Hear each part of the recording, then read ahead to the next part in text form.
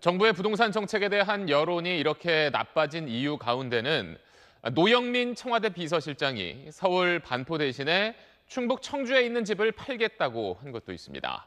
이걸 두고 여당 안에서도 비판이 나오고 있는데 이낙연 의원은 합당한 처신과 조치가 있어야 한다고 오늘 말했습니다. 이 내용은 윤나라 기자입니다. 노영민 청와대 비서실장에 대한 여당 내부의 불만은 오늘도 부글부글 끓어올랐습니다.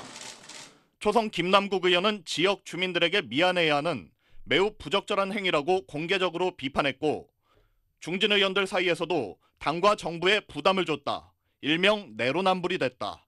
욕먹을만 하다 같은 쓴소리가 쏟아졌습니다.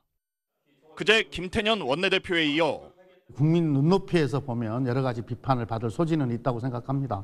오늘은 유력 대선 주자인 이낙연 의원도 악화한 여론을 의식한 듯 우려 섞인 언급을 했습니다. 음, 좀 아쉽다 이런 생각이 듭니다. 합당한 처신, 합당한 조치가 있기를 기대합니다.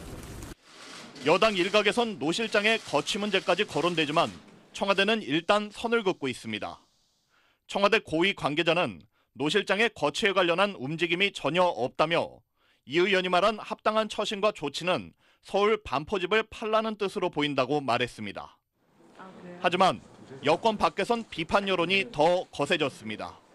집권 여당의 에, 정책 추진 의사보다 똘똘한 한 채를 챙기겠다는 노영민 청와대 비서실장의 처신을 더 강력한 신호로 받아들이고 있기 때문입니다.